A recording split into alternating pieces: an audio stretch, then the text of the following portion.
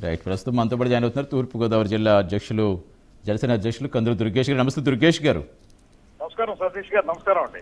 నమస్తే అండి. సో చూస్తున్నారు మొత్తానికి ఎలా జరుగుతుందో ఇంకా ఇప్పటికీ కూడా ఇంకా రోడ్ల మీద తిప్పడమే చూస్తున్నాం. అసలు ఏం జరుగుతుంది అనుకోవాలండి?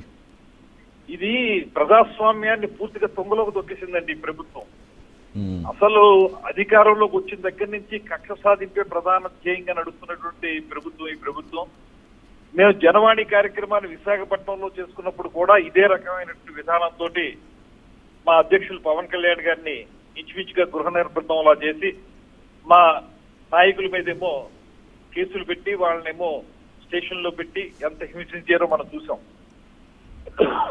ఇప్పుడు మళ్ళీ ఇదేదో మనం ఆంధ్రప్రదేశ్లో కాదు పాకిస్తాన్లో ఉన్నాం అన్నట్టుగా లేకపోతే జనసేన పార్టీ వాళ్ళంటే ఉగ్రవాదులు అన్నట్లుగా అసలు ఆంధ్రప్రదేశ్ బోర్డర్లోకి ఎంటర్ అయిన దగ్గర నుంచి ఇప్పటి వరకు కూడా అడుగడుగునా కూడా ఆటంకాలు సృష్టించి ఏ ఉద్దేశంతో ఏ చట్ట ప్రకారం ఏ రూల్ ప్రకారం ఈ రకంగా ఆపుతారండి వాళ్ళు? కనీసం. మా పార్టీ ఆఫీస్కి మా నాయకుడు వచ్చి మాతో కలిసి సమావేశం పెట్టుకోవడానికి అవకాశం కూడా లేదా మాకు?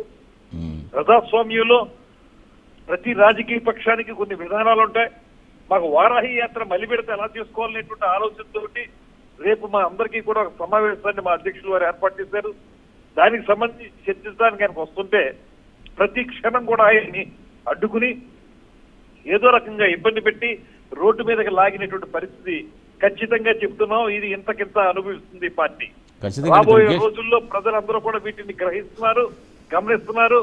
ఈ పార్టీని ఈ ప్రభుత్వాన్ని చరమాంకం పలికే రోజు అతి త్వరలోనే ఉందనేటువంటి మాట మాత్రం మర్చిపోద్దని వాళ్ళని హెచ్చరిస్తున్నాం. ఎస్ ఖచ్చితంగా దుర్గేష్ గారు. ఎందుకంటే ముందుగా అనుకున్న షెడ్యూల్ ఇది. అదేదో పోనీ బహిరంగ సభ మరొకటో ర్యాలీయో ఇలాంటివి అయితే ప్రస్తుతం రాష్ట్రంలో పరిస్థితులకు అనుగుణంగా ఇప్పుడు ప్రస్తుతం లేదని చెప్పిన ఒక అర్థం ఉంటుందేమో. అలాంటిది ఒక ఆఫీస్లో వాళ్ళ పార్టీ కార్యక్రమాలకు సంబంధించి పార్టీ కార్యక్రమాలకి దిశానిర్దేశం చేసేందుకు ఒక ఆఫీసులో పెట్టుకునే కార్యక్రమానికి ఆయన వస్తుంటే ఇంత దారుణంగా అడ్డుకోవడం. ఇది చాలా అన్యాయం. పదే పదే చెప్తా ఉన్నారు మా రాజకీయ వ్యవహారాల కమిటీ చైర్మన్ మనోహర్ గారు కూడా క్లియర్గా చెప్పారు. మాకు వారాహి యాత్ర మళ్ళీ విడత గురించి మాట్లాడడానికి మా జిల్లా అధ్యక్షులతోనూ పిఎస్సి మెంబర్లతోనూ ఒక మీటింగ్ పెట్టుకున్నాం అనేటువంటి మాట చెబుతుంటే కూడా మూర్ఖత్వంతో వీళ్ళు చేసే పని నియంతృత్వంతో వీళ్ళు చేసే పని ఇది ఎల్లకాలం సాగుతుందని అనుకుంటున్నారండి వీళ్ళు. దీంతో వీటితోటి ఈ రకంగా ఆపుదాం అనేటువంటి ప్రయత్నం చేస్తే అది చెల్లదు.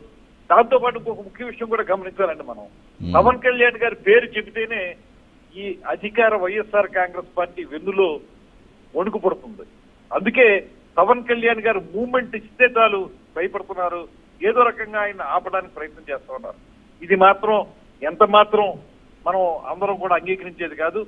నూటికి నూరు శాతం కూడా జనసేన పార్టీ దీని మీద ఒక కార్యాచరణ ఏర్పాటు చేసుకుంటుంది. రేపు జరిగే మీటింగ్లో కూడా ఈ విధానాల మీద మేము ఖచ్చితమైన నిర్ణయం తీసుకుంటాం. రాబోయే ఆరు నెలల కాలంలో ఏ రకంగా మా కార్యాచరణ ఉండాలో కూడా నిర్ణయించుకుంటాం.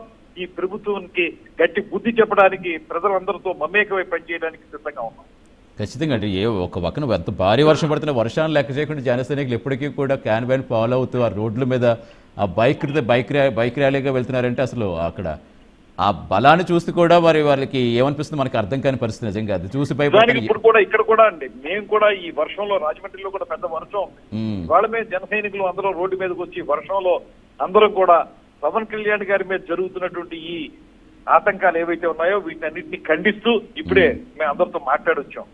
ఇది వీళ్ళు అరచేతిని అడ్డుపెట్టి సూర్యోదయాన్ని ఆపలేరు అనేటువంటి మాట పూర్వం నుంచి మనం వింటున్నాం. ఆ ప్రకారంగానే వీళ్ళు వీళ్ళు ఎంత గట్టిగా మమ్మల్ని అతకాయించాలని చూస్తారో జన సైనికులు అంతకంతా కూడా ఉత్సాహంతో ముందుకు వెళ్తారు ఈ ప్రభుత్వాన్ని దించే వరకు కూడా ఉద్యమిస్తూనే ఉంటారు అనేటువంటి మాట మాత్రం వాళ్ళు మర్చిపోకూడదు. మీరు స్టార్ట్ అయ్యారా దుర్గేష్ గారు రేపు మీటింగ్కి ఎర్లీ మార్నింగ్ స్టార్ట్ అవుతుందండి. ఇప్పుడే ఇక్కడ మేము లాలా చెరువు జంక్షన్లో కార్యక్రమం చేశాం. ఈ ప్రభుత్వానికి వ్యతిరేకంగా. ఎందుకంటే పది గంటల పన్నెండు గంటల మధ్యలో చాలా ఎంత క్రియేట్ చేస్తారంటే నిజంగా అసలు వాహనంలో ఎక్కి తీసుకెళ్ళడంతో చాలా మందికి ఒక రకమైన రాష్ట్ర స్థాయిలో మొత్తం రాష్ట్ర వ్యాప్తంగా అన్ని చోట్ల కూడా బయటకు వచ్చి ఆందోళన చేయడం మనం చూస్తాం. అవునండి అవును. లేదు లేదండి. ఇది ఇది పోగాలము దాపురించినప్పుడు అనేటువంటి ఉంది చూసారా ఆ రకంగా ఈ పార్టీ చేసేటువంటి పనులన్నీ కూడా ఖచ్చితంగా వాళ్ళకి భూగాలం దాపురించింది. అంతే. రైట్ థ్యాంక్ యూ దుర్గేష్ గారు. మాతో పాటు జాయిన్ అయినందుకు.